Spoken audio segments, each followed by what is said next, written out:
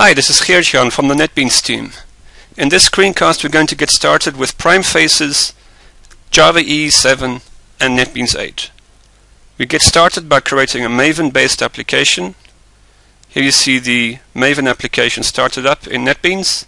You also see the navigator shows all the goals from the POM in that particular project that is now selected. So we can run all those goals directly from the navigator. We've also set the embedded browser internally inside NetBeans, so we'll deploy not to an external browser. Also, you can see the data that we're going to be showing in the application and working with. And we see Glassfish has been started up. We're quickly going to start by undeploying what is deployed there so that Glassfish is completely ready and empty and there's nothing deployed to it at the moment. We first of all create some JPA entity classes. We point to the data source that you just saw we point to our customer table and two others are included for its foreign key relationships. We can come back here and recreate those JPA entity classes if our database changes. And we now have three JPA entity classes created. So we open one of them. It's just a plain old POJO as you would expect from JPA with some annotations added to it, but for the rest it's a plain old Java object. The nice thing is that inside of the annotations we can use code completion to complete the SQL queries within the named queries. Our JPA entity classes are all set up and ready, so the next step is to create the front end of this application. So we say these are our entity classes that we want to generate a front end from and for the first time you can specify that you want to have PrimeFaces components generated as the front end. So this is completely new in NetBeans 8. Directly generate a PrimeFaces front end. No tweaking afterwards, nothing. So of course we need to include PrimeFaces, the component library itself, and then this library is added to the POM file together with all the other related artifacts that are needed by PrimeFaces. You can take a look now at the um, POM file.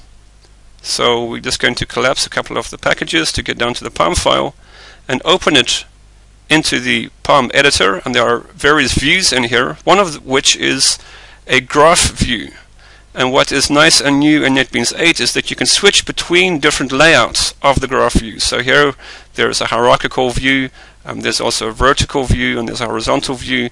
So depending on how many dependencies you've got in your POM file, depending on the layout, depending on a whole bunch of different factors, a different way of um, putting out the dependencies in the graph um, could be useful. So you can switch between different layouts and also you can exclude dependencies directly from this graph view. So if one of the dependencies doesn't suit your needs, you can just right click on it, say delete, and it will be deleted from the POM file. Also, if we go inside of one of the prime files that have been created, you can see we can use code completion to complete the um, JSF expressions that you see there. So there's support for the JSF expression language in terms of its code completion and also navigating to the artifacts from the view into the entities and um, beans. What you see here now is we have deployed the application and we have now a complete CRUD application. So there is, for each of the JPA entity classes that we started with, we've created um, a, a, list view, we've created a page for um, for editing and for creating a new uh, record in the in the table. So it's a complete CRUD application that's been created for us, and we haven't touched a single line of code. So this gives us a starting point for creating our own applications, especially since all of the templates that you've seen can be configured. So you're not locked into the templates that NetBeans provides.